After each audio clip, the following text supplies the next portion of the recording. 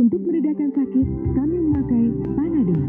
Panadol relatif aman karena tidak menyebabkan efek samping bila diminum sesuai anjuran. Masih sakit kepala, pak?